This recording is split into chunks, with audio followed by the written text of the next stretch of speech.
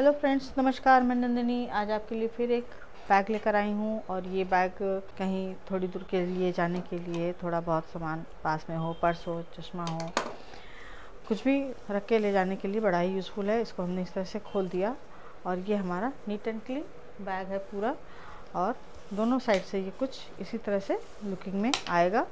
और इसमें हमने ज़िप नहीं इस्तेमाल किया है। ज़िप की जगह आज हमने इसका लॉक का इस्तेमाल किया है।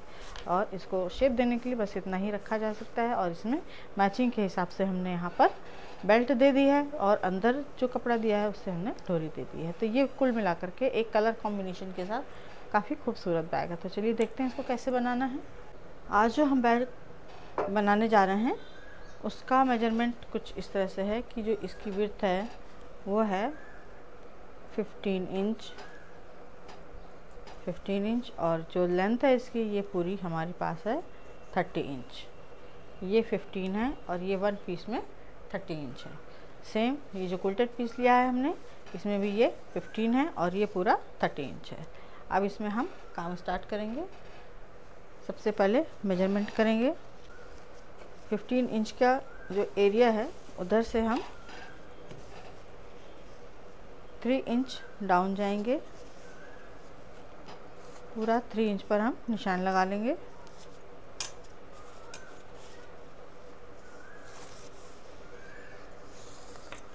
फिर वन इंच स्पेस छोड़ेंगे।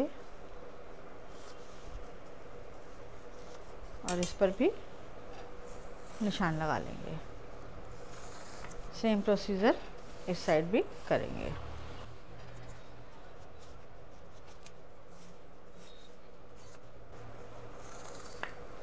इसको निशान लगाने के बाद ये हमारे पास निशान लगा लिया हमने कुल्टेड पीस पे और ये हमारे पास प्लेन पीस हो गया। इसके अलावा हमने यहाँ पर लिया है 26 इंच की दो बेल्ट 30 इंच की दो डोरी 30 इंच 30 इंच की दो डोरी और दो वुडन बीड्स ली हैं। इसका सेंटर निकाल लेंगे।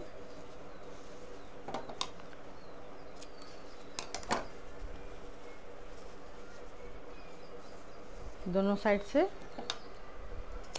सेंटर निकालने के बाद ये जो सेंटर है, यहाँ से फोर इंच इधर, फोर इंच इधर निशान लगाएँगे। ये निशान लगा लिया हमने और ये जो बेल्ट है हमारे पास, इसको हम यहाँ पर जोड़ देंगे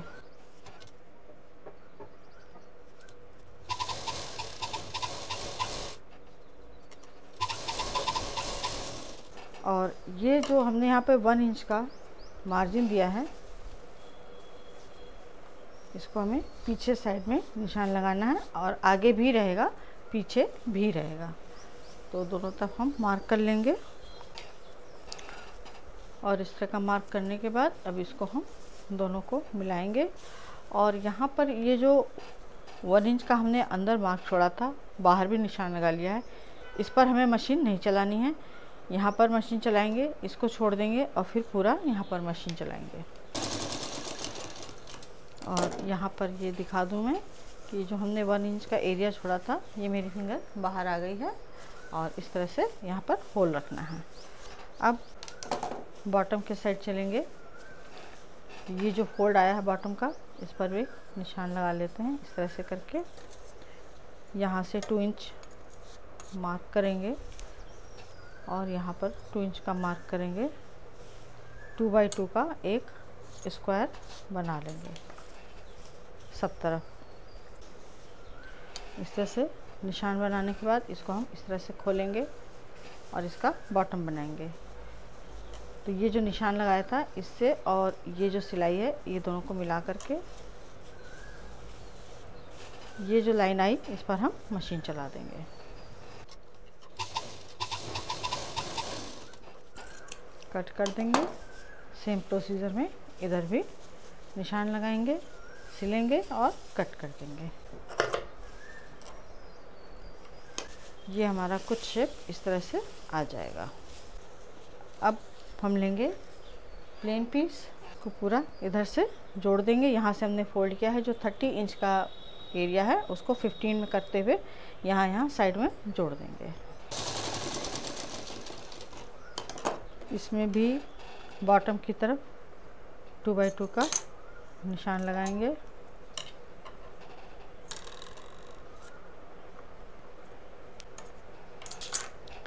कॉर्नर से कॉर्नर मिलाते हुए इसका भी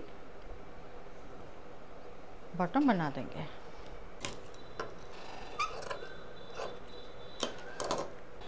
अब ये पूरा बैग हम इसके अंदर डालेंगे। क्विल्टेड पीस की सिलाई और इसकी सिलाई। दोनों को यहाँ पर हम मिला देंगे। और पिन लगा देंगे।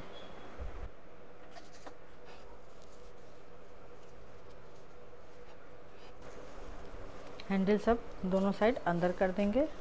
और यहाँ पर ये जो हमने बेल्ट अंदर लगाई थी, बेल्ट का इतना एरिया ऊपर की तरफ़ से इतना छोड़ देंगे और बाकी चारों तरफ़ गोलाई में मशीन चला देंगे।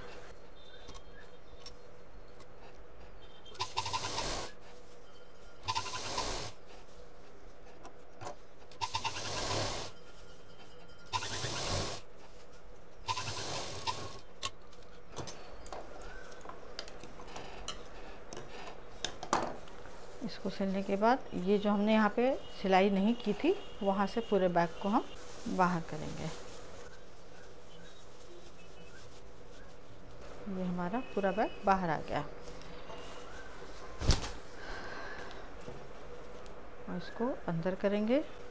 और ये जो खुला हुआ पीस था, इसको अंदर करते हुए यहाँ से मोड़ते हुए सिल देंगे और पूरा गोलाई में सिलते चले जाएँगे।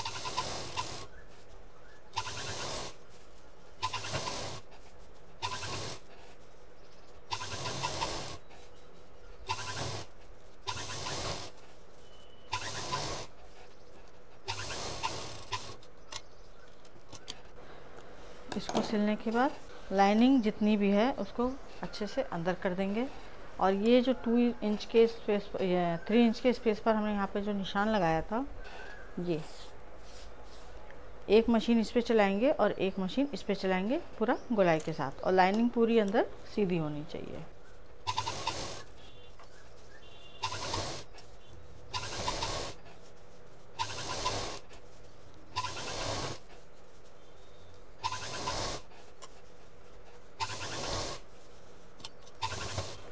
और ये हमने पहली मशीन चलाई, अब उसके नीचे जो लाइन खींची थी, उस पर मशीन चलाएँगे।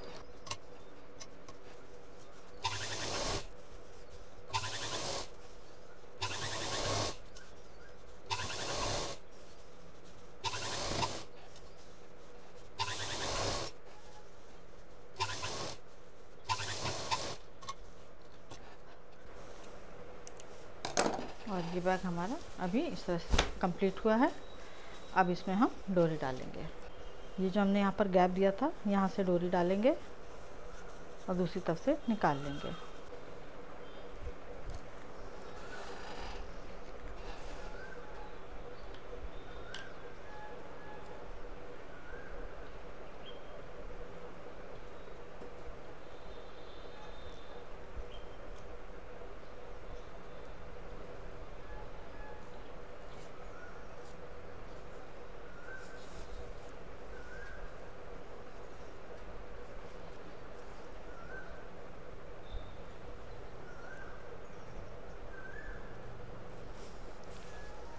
ये हमारा बैग कुछ इस तरह से कंप्लीट हो गया।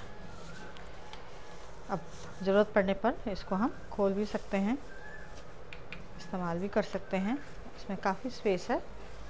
ये देखिए, और नहीं तो इसको कितना सा भी करके छोड़ देंगे तो ये स्टाइलिश दिखने लगेगा। तो ये था आज का हमारा छोटा सा बैग। कलरफुल यूज़फुल उम्मीद है पसंद आया होगा। लाइक करें शेयर करें सब्सक्राइब करें। आइकॉन बेल बटन दबाना ना भूलें, नंदिनी फिर कुछ नया लेकर आएगी। नमस्कार।